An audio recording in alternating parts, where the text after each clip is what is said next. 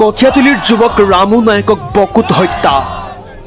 নগাঁও জিলাৰ কঠীয়াতলী কন্দলী চাহ বাগিচাৰ যুৱক ৰামু নায়কক যোৱা দুই জানুৱাৰীত বকো আৰক্ষীৰ অন্তৰ্গত ব্ৰহ্মপুত্ৰ বাৰীত নৃশংসভাৱে হত্যা কৰি পুতি থয়।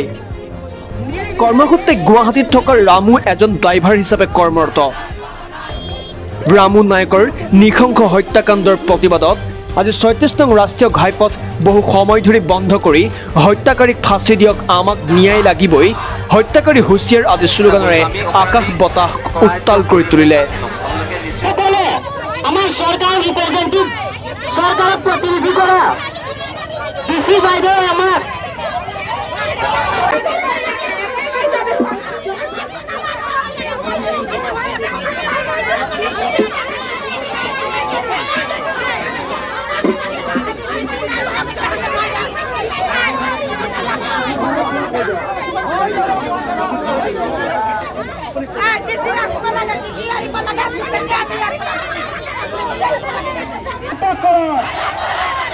হত্যাকাৰীক ফাঁচি দিয়ক হত্যাকাৰীক ফাঁচি দিয়ক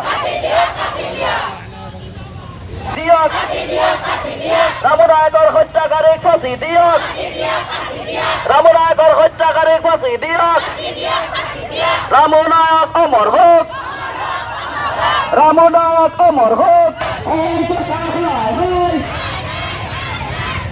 তেখেতে গুৱাহাটীত গাড়ী ড্ৰাইভাৰ হিচাপে কাম কৰি আছিলে।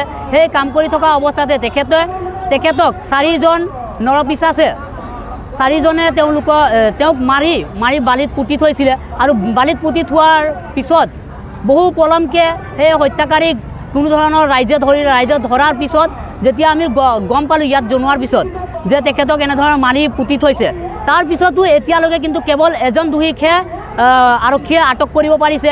এতিয়ালৈকে বাকী তিনিজন পলাতক হৈ আছে। তেখেতসকলক যেতিয়ালৈকে কৰায়ত্ব নকৰে তেতিয়ালৈকে আমাৰ এই আন্দোলন চলি থাকিব।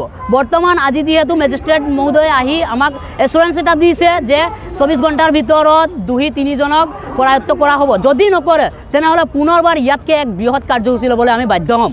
তো কাহিনীটো বহুত দুখ লগা হয়। আজি মোৰ ভাইটি গুৱাহাটী পল্টন বজাৰত তেওঁ টুৰিষ্ট গাড়ী চলায়। আৰু টুৰিষ্ট গাড়ী চলাওঁতে তেওঁলোকৰ তাতে দালাল দালালৰ যোগেদি তেওঁলোকে পেচেঞ্জাৰ পায়। তো এই ক্ষেত্ৰত মই ভাবোঁ দালালতৰো কিছুমান হাত থাকিব পাৰে।